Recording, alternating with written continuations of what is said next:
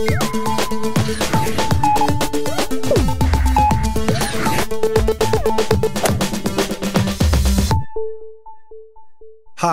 I'm Kenny Gioia. Welcome to another one of my tutorials. In this video, I'm going to show you how to create a custom multi-band compressor in Reaper. Now a multi-band compressor is going to compress separate frequencies in our audio.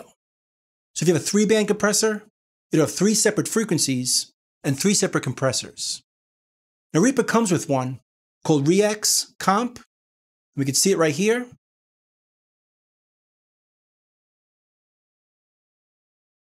This is set up as four band with four separate frequencies that are all going to be compressed separately. And this compressor sounds really good. But if you want to create your own using your favorite compressor, I'm going to show you how to do that instead. And I'm going to choose a compressor down over here called the Rocket by Stillwell Audio. And it's a nice compressor that really pumps. Right now we have it on the master bus, and it sounds like this. I would break the last frontier to get you get you here. Nothing's gonna keep me far from you. Ooh. We can really hear it working. let's say we wanted to make this into a multi-band compressor, where each frequency is compressed separately. So we'll start off by deleting this, and let's add a splitter. Go to All Plugins, and in our filter Let's type splitter. And there's three choices here, three band, four band, or five band. They all work the same way, they just have more bands. For this video, we'll use the three band splitter, which is basically a crossover. It divides the signal into three places. By default, it's from 20 Hz to 200, then from 200 to 2K or 2000, and then 2000 to 20,000 or 20K. Now, if we play it right now, we're only going to hear the low end. Because it splits it into three stereo channels, and we're only hearing the first one. If we go to our pins over here, we can see how it's routed. Channel 1 and 2 is going right here to the low output left and right. But we want to use these ones as well. Now, if we put them over here, we'll hear it all. But it's not split into separate channels. If we want that, and we do for this, we need to add two more stereo channels. So let's do that right here. One more for three and four, and another for five and six. So now the sound is coming into one and two and going out or split into six channels or three stereo channels. But we're still only going to hear the first two. In order to hear them all, we need to add a mixer. Let's go back to our effects, and after the splitter, let's add a mixer. And right over here is an 8 stereo to 1 stereo mixer. Let's add this one.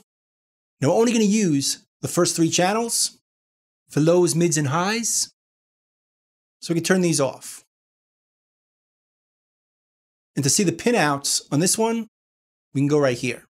And we can see all six channels coming in here and being mixed to our stereo output. So now we should hear all six, or all three stereo channels.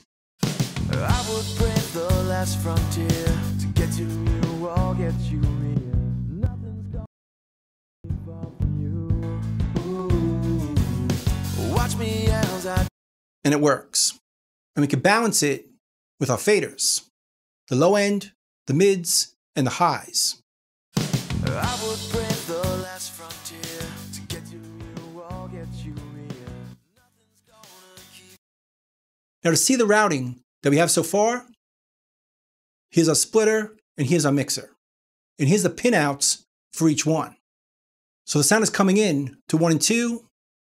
It's being split to six channels, low stereo, mid stereo, and high stereo. And those six channels are going to the mixer and being mixed to a stereo out, which is what we're hearing. So in this space right here is where we could add our compressors.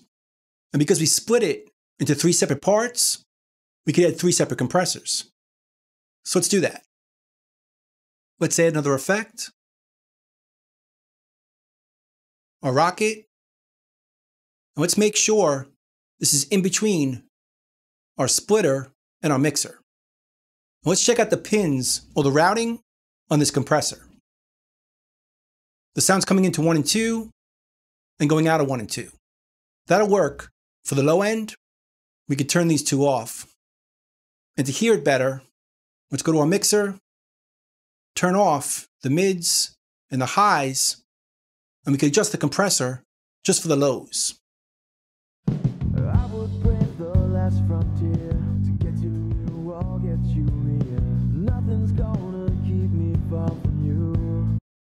See how it tightens it up? Before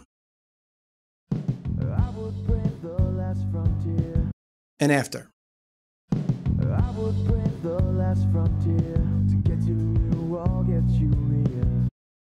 Now we can add another one for our mids.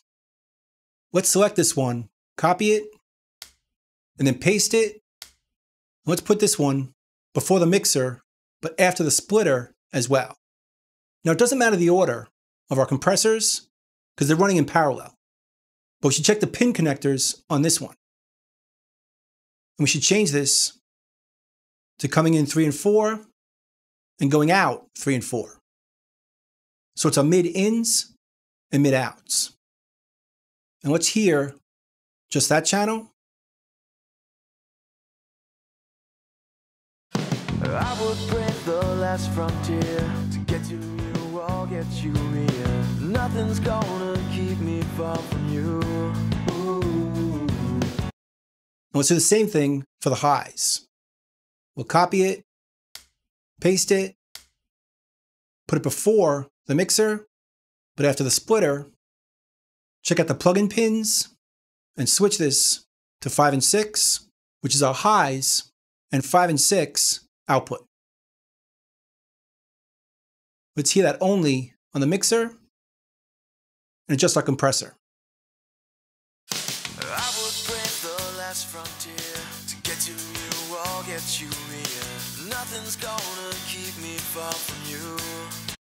Now each compressor is separated by their frequency. Now just so you know, you could use different compressors for each one, all made by different companies. One for the low, one for the mids. I just chose this one to keep it simple. But you can use any compressors that you want. They're all going to work. So now we can blend this all together in a mixer. Bring these all up, and let's hear it. I would the last frontier to get to you, get you here. And we can bypass it by selecting all the compressors, right clicking them, and we can toggle to bypass them. I would the last frontier to you, I'll get you here. Nothing's gonna keep me far from you. And to make this easier to see, let's rename their instances. Right click, rename instance to lows, mids, and highs. Open them all up. Here's our lows, our mids, and our highs. Now we can adjust them each separately. I would break the last frontier to get to you, I'll get you here. Nothing's gonna keep me far from you. Ooh. Watch me as I disappear. Notice the compression is more subtle because each frequency is being compressed separately. So it doesn't pump as much, but it controls each frequency. The lows, the mids, and the highs aren't going to pop out quite as much. Now you're probably thinking, that was a lot of work to set this up. But we don't have to do it twice. We could save this as an effects chain, and it'll save the whole thing. So let's close this. Let's select them all. Right click, go to effects chains, and save selected effects as chain, or we could save all effects as a chain. Then we could name it Rocket Multiband Compressor. Then we could delete all this right here And if you want to use it again, just right click, go to Effects Chain, go down here to Rocket Multiband Compressor. And if we open that up, it opens up exactly how we saved it with our splitter, lows, mids, highs, and finally our mixer, along with all the routing that we did. So that's pretty much it. That's creating a custom multiband compressor in Reaper.